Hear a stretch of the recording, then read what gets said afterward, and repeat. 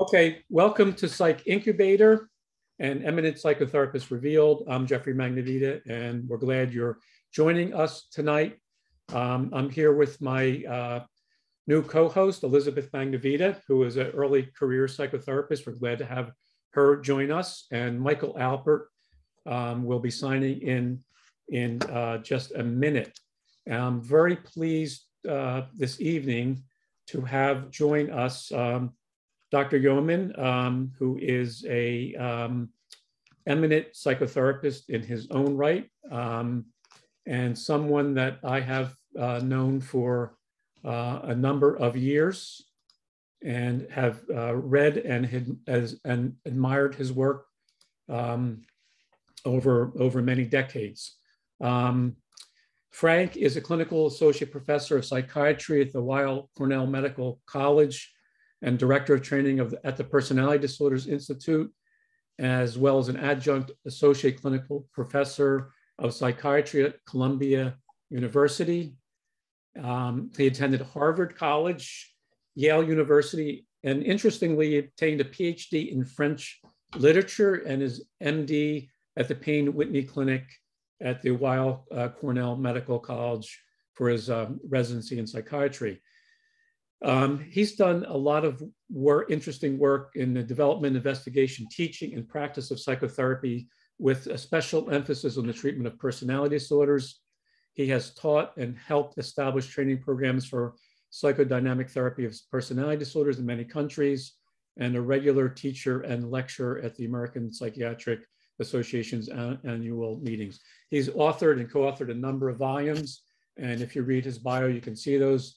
But without further ado, uh, before we jump in, I do want to say that um, for our Ukrainian colleagues, um, we are here wishing you uh, the best and sending you our support, prayers, and thoughts, and for the Ukrainian people. So, uh, with that being um, acknowledged, uh, we'll start off with um, our first question.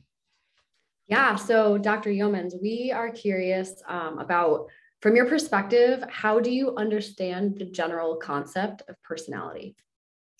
Well, it's a good place to start. And I think it's good for people in mental health to never forget about the personality that is subtending many symptoms. I think modern psychiatry in particular is too symptom focused. So I like to quote my colleague, I'm sure you know him, Jeffrey, Jonathan Shedler, who yes. says, uh, personality is not what we have, it's who we are. And I think that makes it more interesting to work with personality than just symptoms. So, personality has to do with the enduring and underlying psychological patterns that are there underneath the symptoms and the chief complaints. So, we're talking about characteristic, kind of automatic, spontaneous ways of thinking, feeling, interacting, and increasingly, according to both the DSM system and the ICD system, the understanding of personality is focusing on one's sense of self and one's experience of others. And that's where I think uh, our attention should be concentrated because when people have personality disorders, there's something that's awry in their sense of self and their experience of others. And, you know, it just leads to a lot of dissatisfaction, uh, unhappiness, and difficulty functioning in life. So um, you should, you should uh, rewrite the, de- the description of personality at the next uh, version of the DSM. It'll, I think it'll help people get oriented in a much more productive manner. I'll do my best. I think I, I would like to do that. Thank you.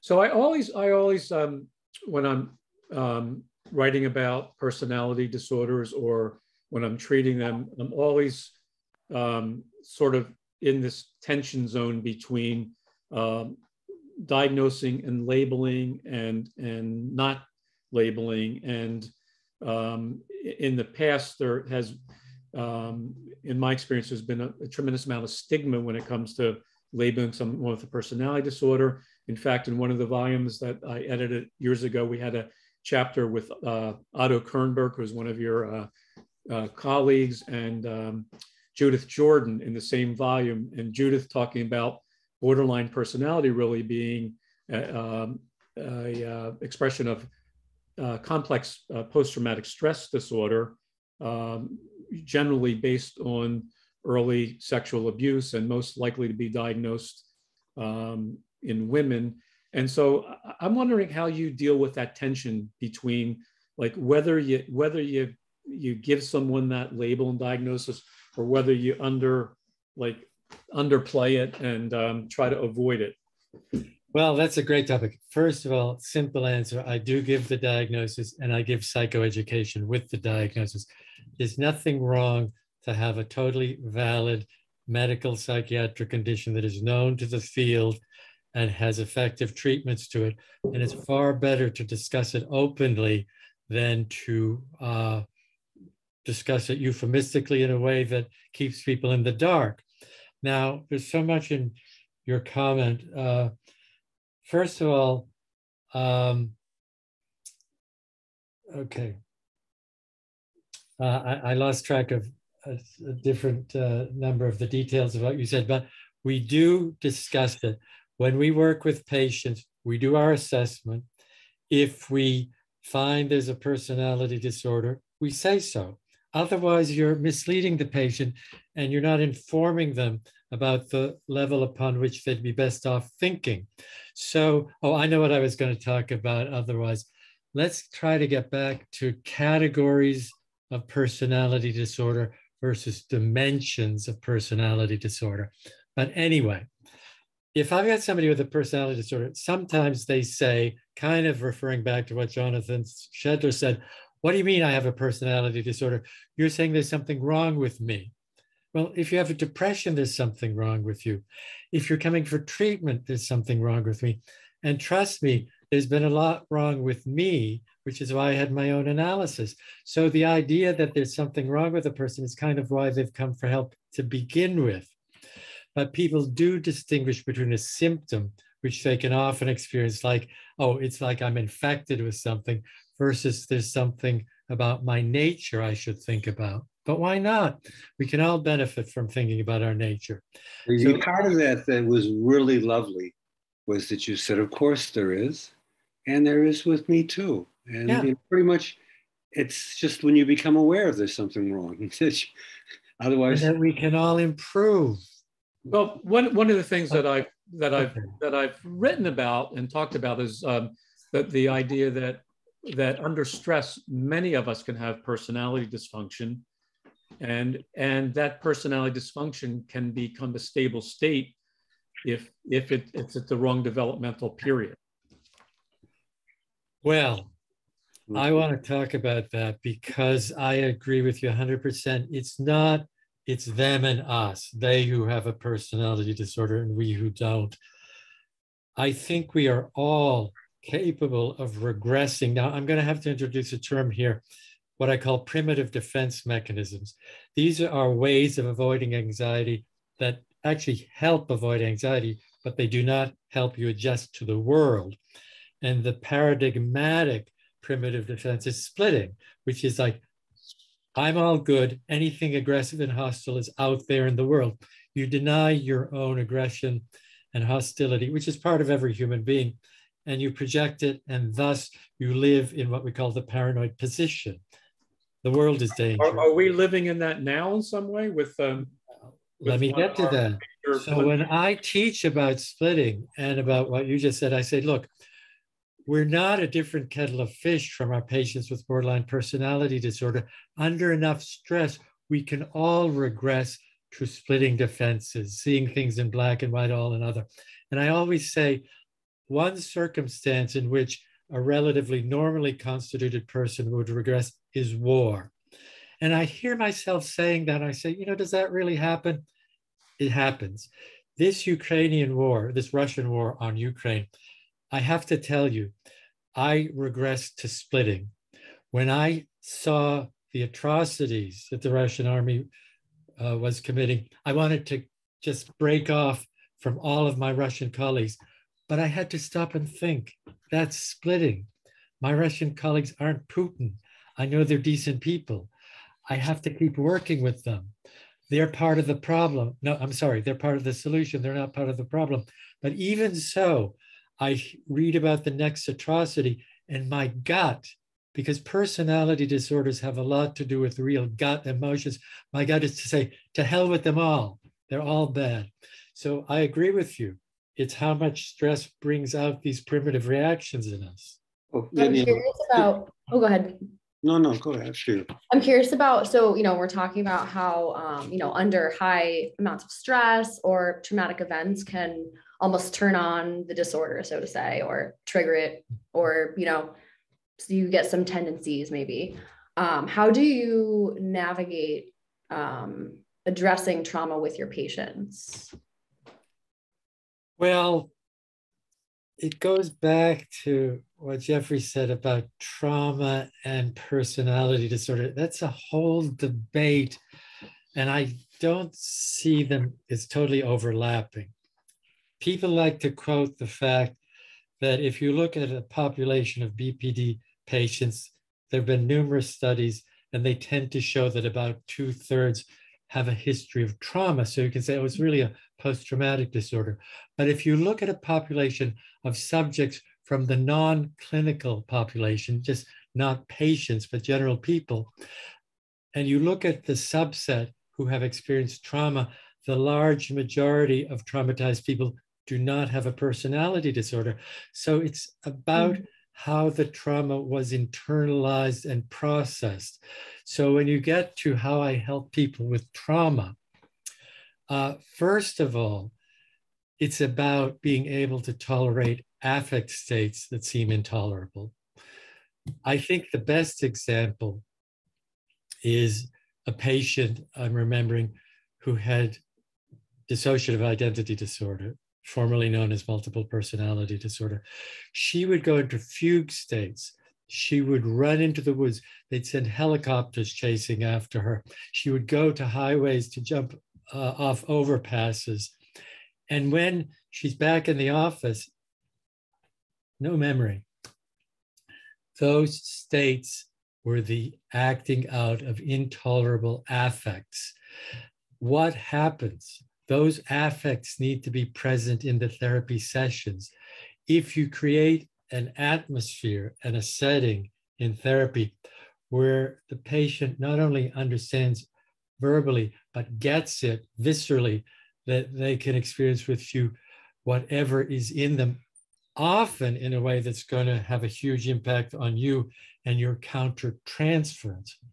This person could get really scary. I had to tolerate the fear and help her see that one could experience that affect without dissociating from it and passing into action to avoid awareness of affect. So I would say the first step is feeling affects that seem totally overwhelming and intolerable.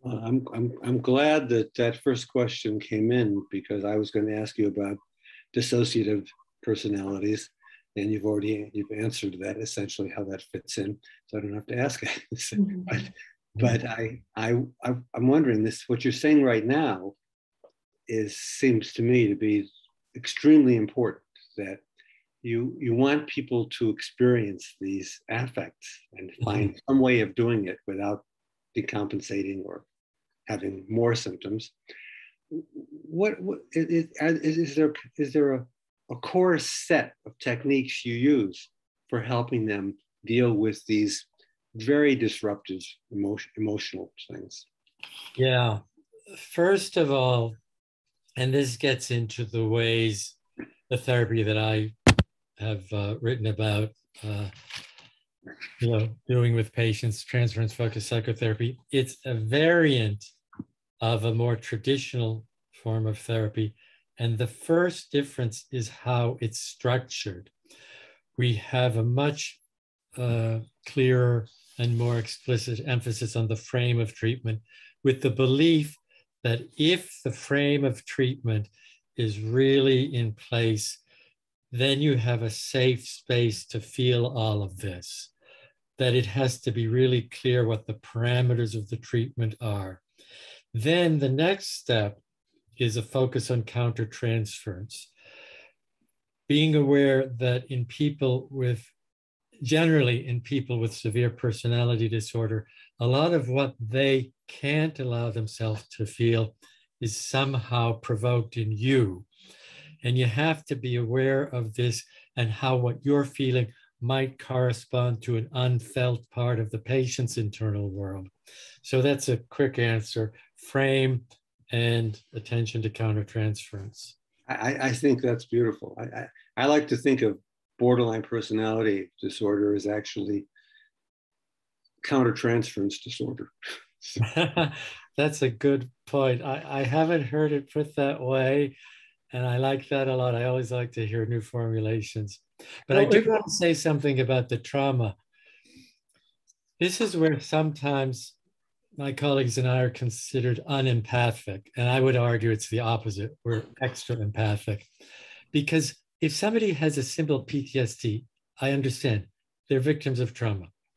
If somebody has a borderline personality disorder, which, by the way, extends beyond the narrow DSM description of borderline into a whole range of what we call borderline organization, which is based on that splitting. Splitting off awareness of your own aggressive feelings, seeing them on the outside, experiencing the world from a paranoid point of view. Anyway, if somebody's not a simple PTSD case, but has developed this, what we call psychological structure based on splitting, we're never going to fully help them unless we help them get in touch with their own aggression. Anna Freud said one needed to deal with the identification with the aggressor. It may or may not be that simple, but without awareness of an integration of one's own aggressive feelings, which I think are part of any, any human psyche, you haven't finished the job. The reason I say sometimes we're considered lacking in empathy is some people say our emphasis on bringing uh, awareness of aggression into the picture is mean to the patient. It sort of paints them in a bad way, but we don't see it that way. We think it's just honoring the full range of human emotion. So speaking of, um, you know, talking about aggression. I'm thinking of the patients that I work with at um, the hospital where I work, there are often, you know, pretty aggressive um, people who are dealing with some really, really intense emotions. So working with these people, you know, me and my coworkers, we often find that, of course, there's a lot of a lot of countertransference um, towards these people, and it's a real challenge trying to find that want to help someone sometimes who you know have done some not great thing. So how do you what's a, a trick or a tip or something where you can help kind of navigate helping them, wanting to help them, and also, you know, not condoning what they've done and being there for them also. Well, that's the key. So let me comment on that a little bit. First of all, to get back to the issue of diagnosis, categories versus dimensions, increasingly studies of personality and personality disorder favor a dimensional view. So it's how severe is the personality disorder? One can think of severity in terms of a number of different variables. How in depth are interpersonal relationships? That would be a higher level of personality organization versus how superficial and caricatured are the interpersonal relationships. But another variable that has to do with severity is how much aggression is there in the constitutional makeup of the person's personality. We have to remember that personality is largely biological and genetic, not just the result of development. Anyway, to get back to your question about how to manage aggressive stuff in patients, which sometimes they act out without any awareness. I had a patient whose husband called me up and said, What do I do, doc? I forgot my I forgot our wedding anniversary. My wife got really angry at me and she threw the TV across the room at me. In the next session, I said, Well, oh, she said, Can you? I told you what a monster my husband was. He forgot our anniversary. Can you imagine? I said, Well, I understand that's very painful. but he did mention to me that you threw the television at him. She said, What else could I do? I was so hurt. This is what I mean that aggression pass it bypasses awareness and it gets expressed in action.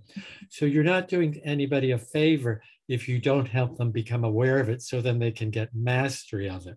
So, anyway, to get back to your question, I see, to simplify a little bit, two levels of understanding aggression in our patients.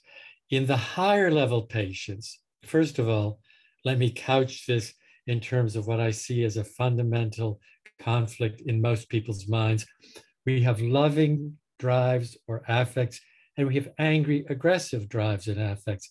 And life is kind of a kind of a conflict about how to negotiate the love and hate. Yeah, exactly. Thank you.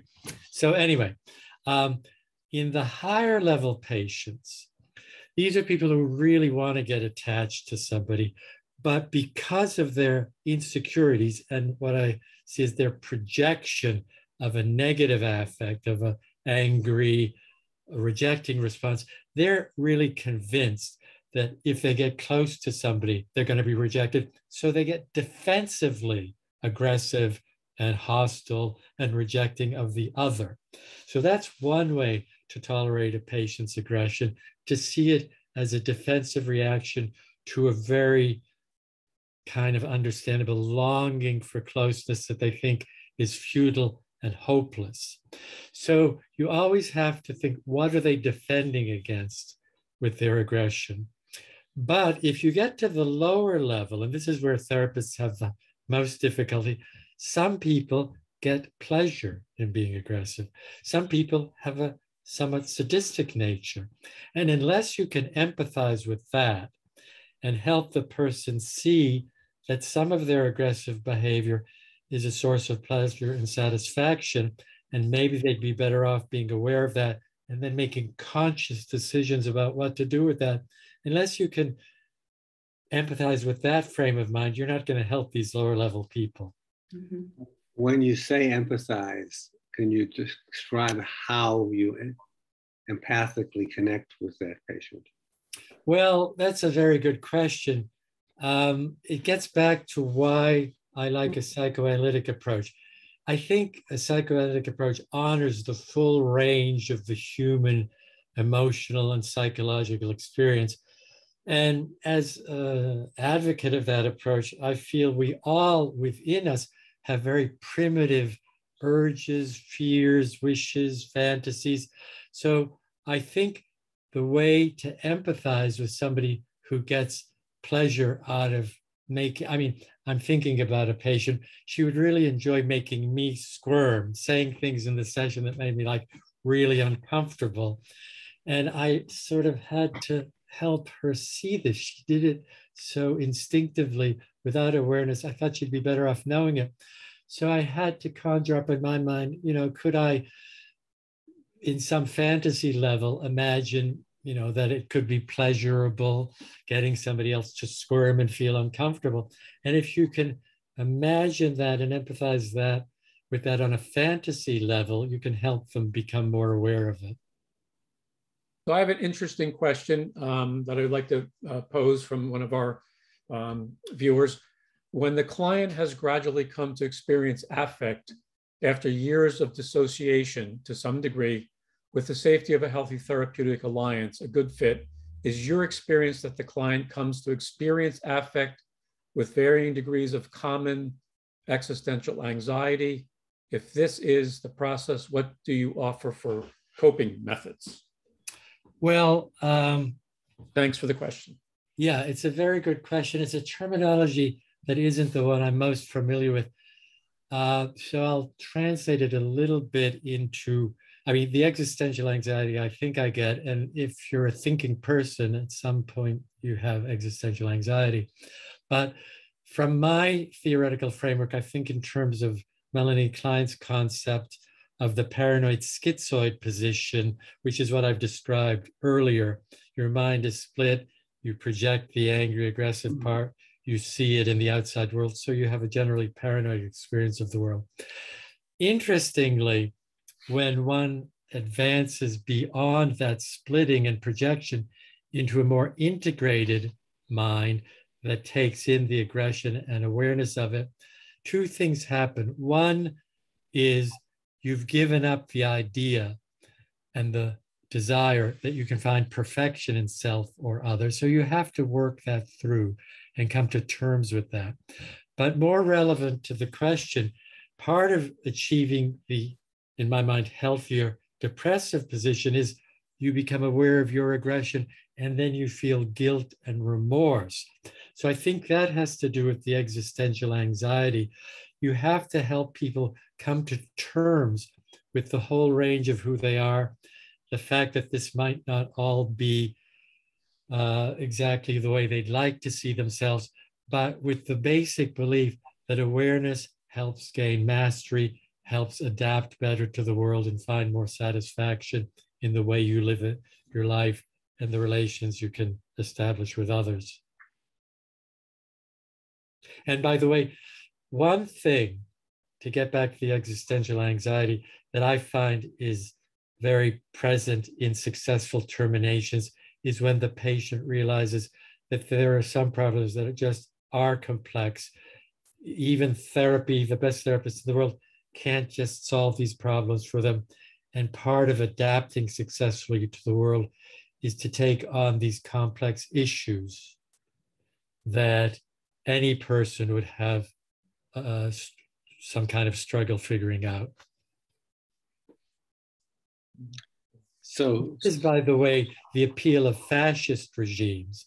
It used to drive me crazy when people would say, Oh, I don't like Hillary Clinton because you ask her a question, she gives eight answers. Well, maybe it's a complex issue where there are different perspectives. But if, say, in the debate, Donald Trump says, "Oh, that's easy. I have the answer to that," people love that. It's well, really they, they, this talking about you know how the the aggressive impulses, which are in all of us, um, and can be give us a sense of being safe. You know, they protect us. We we, we war off the enemy, mm-hmm. and you know beat them back and defeat them and then we feel better.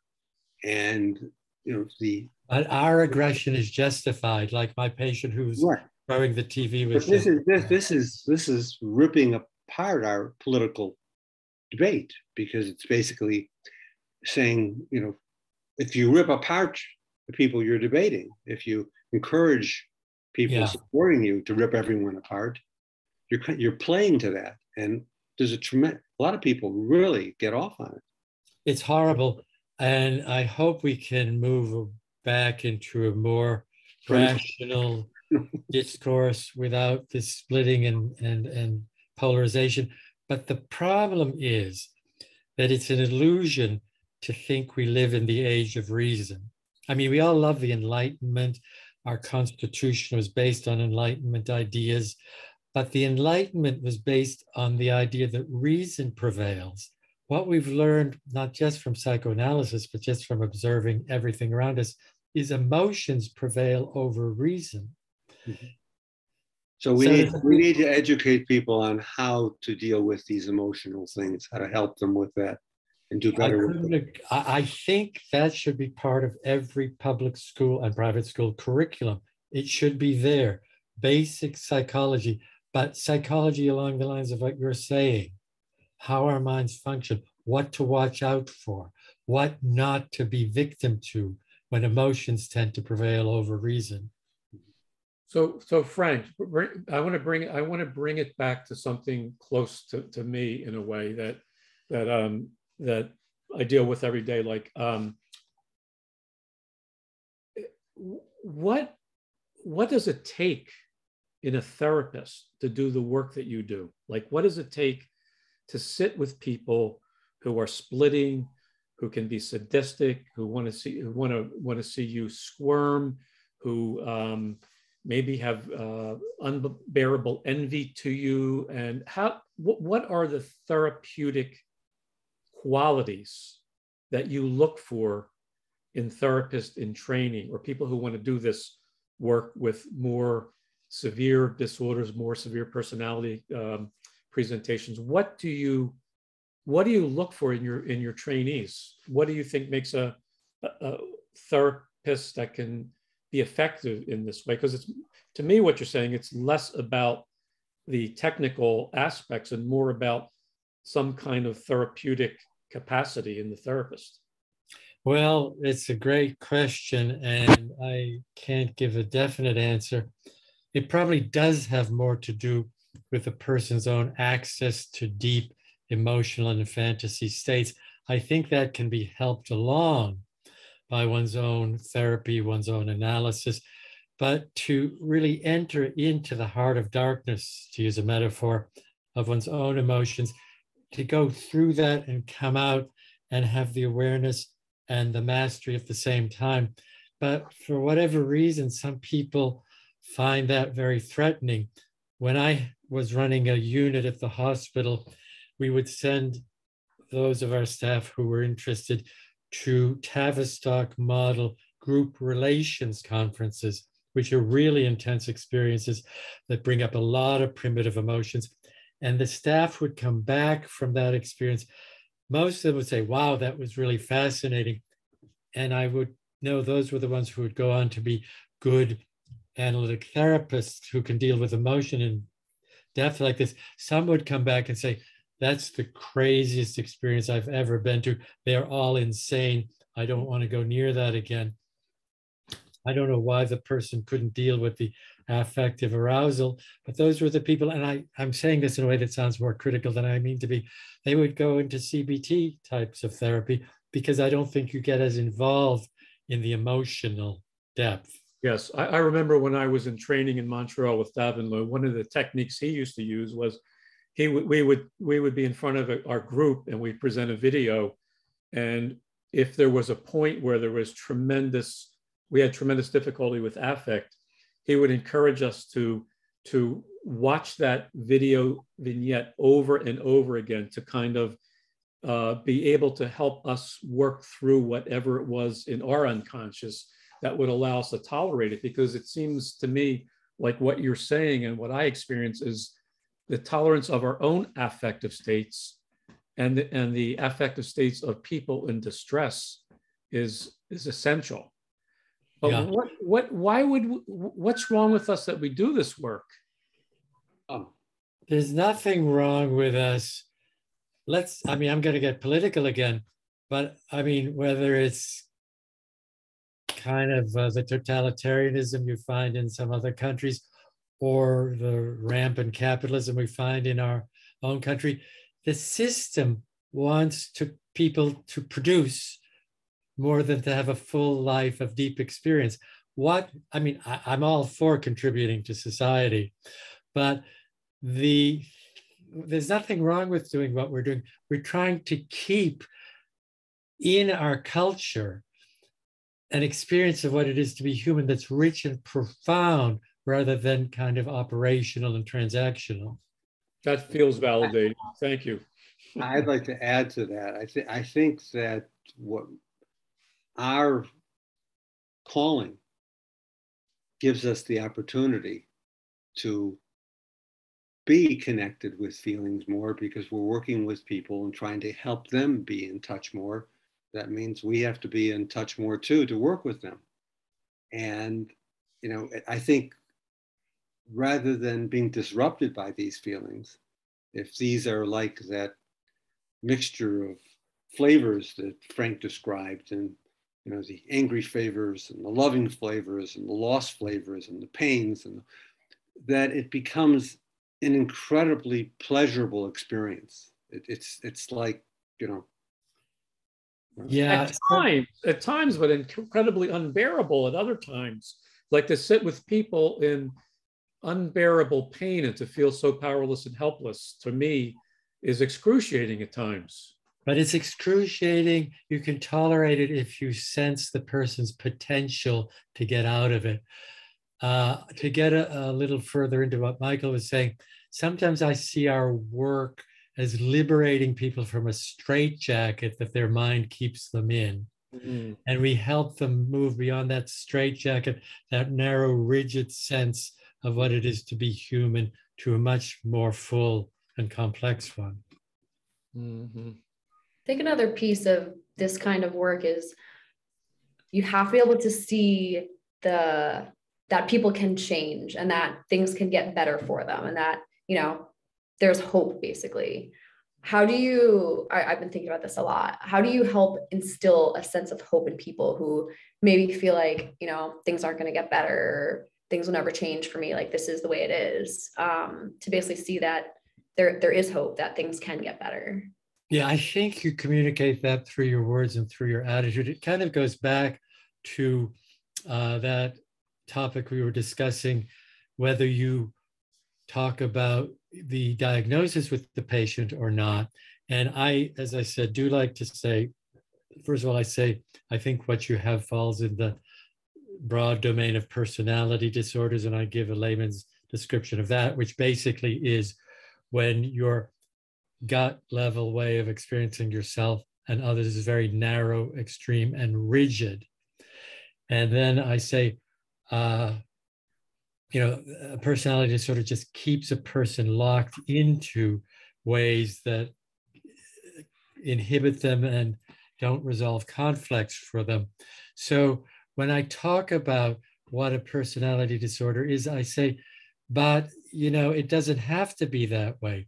There are effective treatments. And if we understand your difficulty this way, and I, I often say to the person, I wouldn't be proposing this treatment to you if I didn't see the potential in you to move beyond this. I have a question from uh, one of our viewers. Have you integrated any spirituality into your therapeutic approach? Only in my own life, because um, I think spirituality is an important part of life, and um, it's not part of my model of psychotherapy, but I think it helps a person ground oneself and you know, have a fuller sense of what life is about. But even though I don't include spirituality per se, what is really interesting is the role of a moral value system. Because if you're talking about people who have a personality disorder, they usually don't have a coherent sense of themselves. And part of a coherent sense of self is a coherent sense of values. And I can't tell you how many of my patients, as they're getting better, spontaneously from them, they say, You know, I've been thinking about my values and I've come to realize I'm not so clear about that. And I want to really develop a clearer and better sense of values. And that's very gratifying.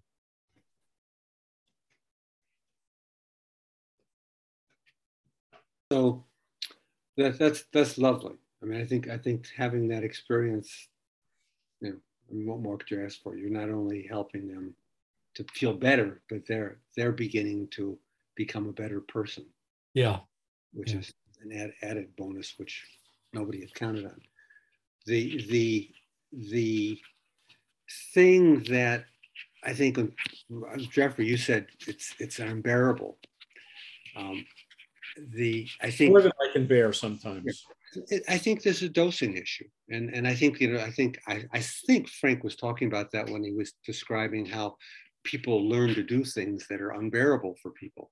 That it, it may be maybe a defensive maneuver that they're expressing whatever it is in a way that is unbearable. I, I remember I had a patient who who had become so she describing uh, something or she was very frustrated with, and after when she had been brutalized as a child by a, a parent, she, she, would suddenly begin take her fist and begin to smash herself in the face, and I, it was unbearable just just to even see it. I said, "You have to stop. I can't stand this." Mm-hmm and and then we we we had to, we had to keep stopping it and stopping it and and reducing the way it was done to a much milder way and and but it it it it, it took a, a long time for me to realize that that actually you know I, why, I, why she was doing it became clear in terms of why she was essentially taking the uh, joining her her abusive parent and right. before. But it, it, it's it's it's difficult when things like that happen. It is, but in that situation, I would suggest to the woman I know this sounds a little crazy, but I think you're doing that to not feel something. I mean, it looks to all the world like you're doing something that's inflicting pain on yourself, but I think it's actually trying to escape from something that would feel worse if you let yourself feel it. Thank you. I never thought of that. But this, but this, but that, I think, I think what you both are illustrating is a very interesting, interesting technical kind of issue. Like, um, uh, is there a time when you have to just say stop it? I don't know if you've ever seen the the Bob Newhart stop it. yes. But but there's a point when when sometimes I find myself say just stop it, stop it. Like when someone's doing that, maybe not. I mean, I've had patients that have punched themselves in the head, um, and and but when there's some when they're verbally punching themselves, like and making me watch, sometimes I'll I'll say that and then maybe I'll do what you suggest, Frank, and say, you know, but but it seems like the the the technical for me the the the gut thing is get him to stop it first, like like like I wouldn't let my kid run out in front of a uh, a car. I would I would stop it. So, what do you think about that? Frank. Well, that, that gets back to what I was saying earlier about structuring and framing the treatment right from the get-go. So if there are any indications in the assessment we get for our assessment of the patient and the history we get of behaviors that are distinctly harmful and usually harmful behaviors are also treatment interfering behaviors. We say, you know, should this come up in the course of this therapy, this is what this therapy calls for. You're making every effort to refrain from that we believe that that's a way to not feel something. It disarms us. It takes away what we need to do the work, which is the affect, the emotion that underlies it. So we set up, it's kind of like this is a terrible metaphor, but I'll use it anyway suffer the consequences. It's like setting up the ropes around a boxing ring. It's like in this space, anything can be felt because nothing is going to move beyond this space and nothing is going to happen in this space that's literally harmful and dangerous physically. The well, other thing, but I think you, I, I mean, I, I, I think that, I mean, that sounds lovely, but I'm not sure I am able to set that those kind of ropes around people. I, I've had patients who try to jump through my window and during a session, and jump out my window during a session, and like had to like tackle them to get them from jumping out my window. And, no, no, I've had that too. Um, or patients that have climbed through the window of our waiting room, of our administrative office and wound up in my office on my couch. I mean, it, there there's you know there's acting out. I think Lizzie works with a lot more patients that live in that realm, but we get them occasionally. And then and then how do you? Well, know, you I mean, it? clearly one has to work on setting limits. Now, what you just said is setting the limits doesn't always work. And of course, it doesn't always work.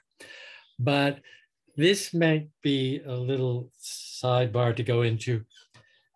Most of those of us who specialize in borderline personality disorder have taken a distance from the idea that when the person is like uh, totally emotionally aroused, they have zero control. We all agree they have less control, but our experience both in what I hear from some DBT colleagues and what we do in TFP is there's you can appeal to that part of the patient that still can exert some control. And your appeal to it helps them know it's there. Because too often people accept the myth that when they're aroused, they have no control. So with the patient who says to me, I'm going to jump out the window right in front of you, um, first, I haven't had to grab them. I've had to grab patients doing other things, but that's another story. Um, so uh, similar, the patient said she was going to run out of the office and kill herself. I had to grab her. So, but ultimately, we take the position. I believe that if you muster up every ounce of effort in you, you can not give into this kind of thing. Maybe I'm wrong. Time will tell if you try to follow my advice, we can continue to work together. If I'm wrong and you can't stop this form of acting out, then you need more of a case management treatment than I can provide. I'm providing a treatment that is trying to look at the depths of your feeling states to uncover things of which you're not aware. And you're not aware of them because it's painful to be aware of them. It's not like you just haven't figured them out. It's painful to have this awareness. That's the work we're doing. If, even with our best effort, you cannot avoid repeated dangerous acting out, at least for this point in time, you need more of a case management. Have you have you ever tried saying to them? I was thinking about this as Jeffrey's describing it, and you're describing it. Sharing your reaction. You know, it is it it it's so painful to hear you suffer this way, to see you hurting yourself this way. I wouldn't go into that. I'll tell you why. And well, do you want to say more? No, it's enough. Go ahead. Because usually uh, my patients have one of two reactions. We use countertransference a lot, as we were speaking about before, but we don't reveal it because sometimes if I say, well, you know, this is what I'm feeling, my patient says, well, you should talk about that in your therapy. We're not here to talk about what you're feeling. We're here to talk about what I'm feeling. So that's one response I get, you know, okay, you feel that that's your issue. But I could imagine a lot of patients say, oh, you see, that just shows what a bad person I am. I'm making you feel bad.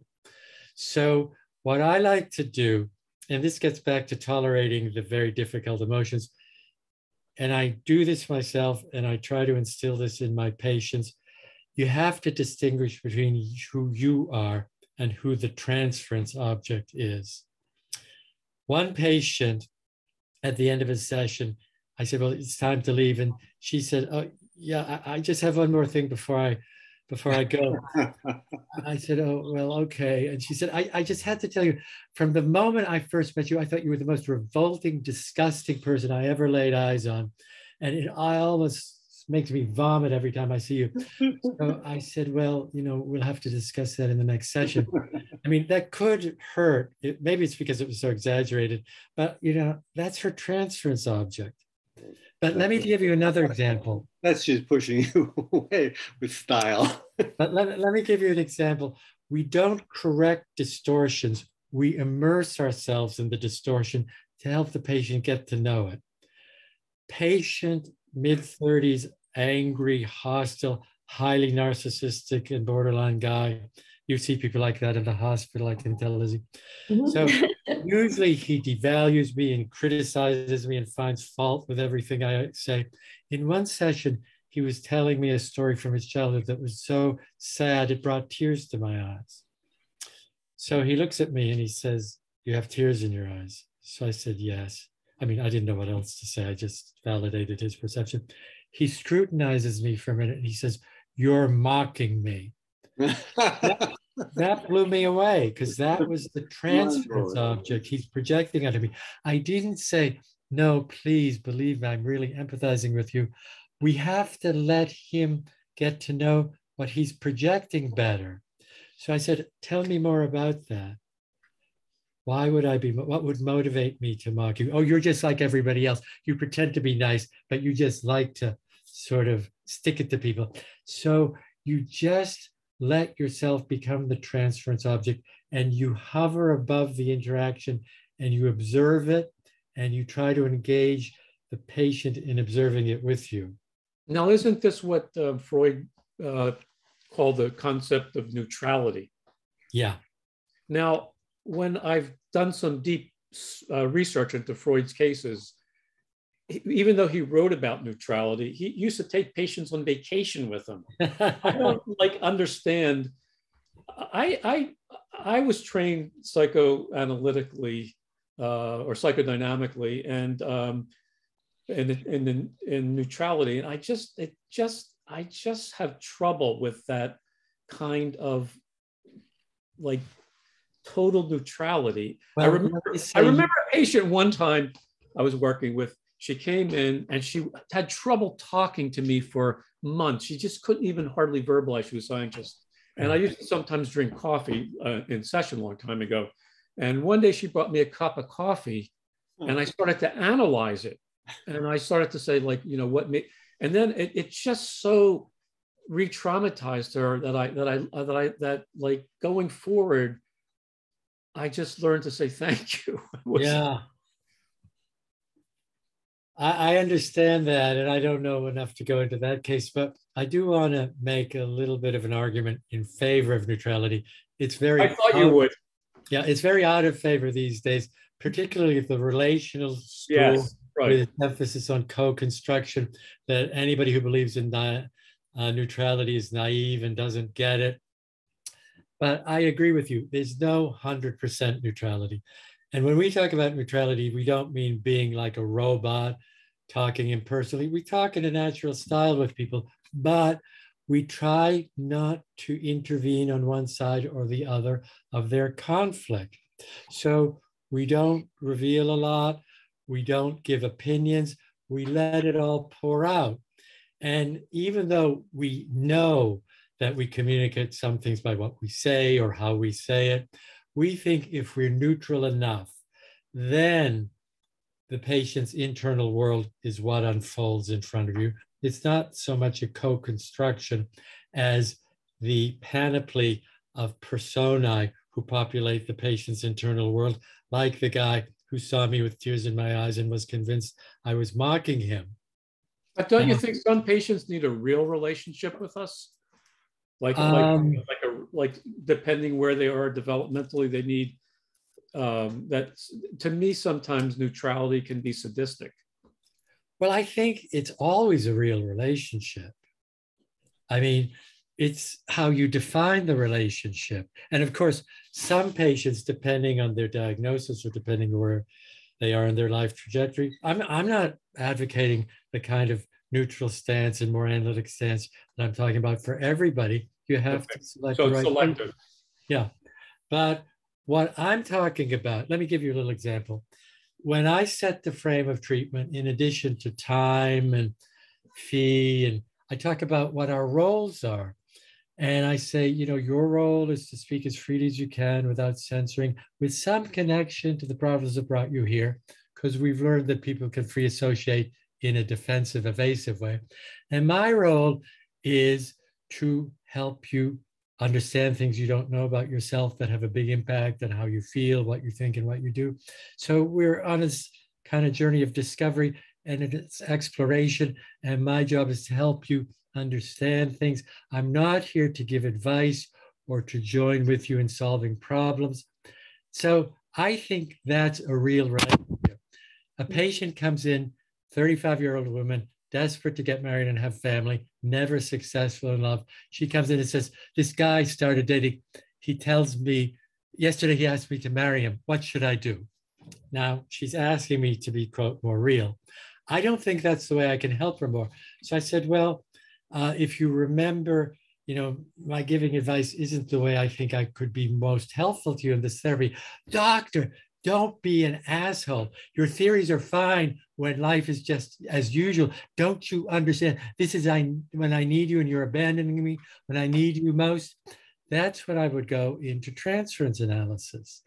I would look at the representation of self and other underlying that that I think is going to help her more. I'd say if you can just bear with me a minute, let's look at your experience of you and your experience of me right now. You've got this major life decision. You feel totally incapable of thinking about it in any useful way. And at the same time, you see me as some kind of godlike figure who knows what the right answer is. If that's a kind of common way that you experience yourself helpless, useless, and you experience the other all knowing, omnipotent, that could interfere with establishing relationships that work. So maybe the way you're experiencing me now really gets back to the trouble you have throughout your life with getting close to somebody and having it work out. So you could say, I'm not being real with her, but I think I'm being real and sticking to role and helping her at a deeper level. So do you make, in that case, would you make a transference past link interpretation? Like, would you link it back to the genetic? No, No? I don't think, I think genetic interpretations are less useful than here and now interpretations. They take you away from the immediate affect. But don't they help you with the pattern recognition that you were, you're replaying the, the, the relationship you had with this figure with me right now, and this is a recurrent? I don't, has have anything against that unless it becomes the central line of interpretation, because I think it's too intellectualized and I think it's too removed from the immediate affect the person has with you. Because it doesn't matter as much to me who did what to them when they were young. What matters to me now is who's doing what to them in their current internal world. And to be aware of that and see how that's what's get activated. We don't think transference is the repetition of the past in the present. We think transference is the activation of the internal representations that exist in the patient's mind, the activation of those personas. Well, where do they come from, though? It doesn't matter as much. I mean, it has some relevance. I don't think it matters as much where they come from as who they are in the patient's mind, because they're never literal representations of what happened in the past. What mm-hmm. happened in the past is elaborated by the patient's fears, fantasies, wishes. So what's in the mind is larger than life. Look, look, people people are going to replay things over and over for a long time. I mean, that's why therapy takes so long because you don't learn it in one play. I think I think and, and I want to get your take on this. My sense is that the you the more you can help them to discover these things and deal with them in a way that works better for them and informs them and helps them to grow, the better they do. But they have to keep redoing that. There's a, mm-hmm. They have to keep re keep working through these difficult about. areas. It also has to do with the biology of the brain, because we know from brain studies that in a lot of our patients, the limbic system, particularly the amygdala, is hyperactive. The prefrontal cortex, the cognitive system, is less active. And, you know, our neuroscientists with whom we work have helped us see how it's that repetition you just described that eventually shifts brain activity to a lessening of the intensity of the activation of the amygdala and an increase in the activity of the prefrontal cortex. So the more they experience these things and handle them in, in more effective ways, the more it shifts. Yeah, right. So unfortunately, we are about out of time. It went by so quickly. Um, I want to thank everyone who is um, watching tonight, and uh, thank you, Frank, for illuminating uh, providing such illuminating insights into the work of uh, severe personality disorders and your expertise is um, is always uh, interesting for our, uh, us and our viewers. Um, we're going to hang around for about 15 minutes afterwards for those of you who want to hang out with us while we talk and you can submit some questions. Uh, so we're going to stop our formal part of our presentation now and we'll be here if you want to hang out with us for another 15 minutes. So thank you all, and we'll see you next month. Thank you.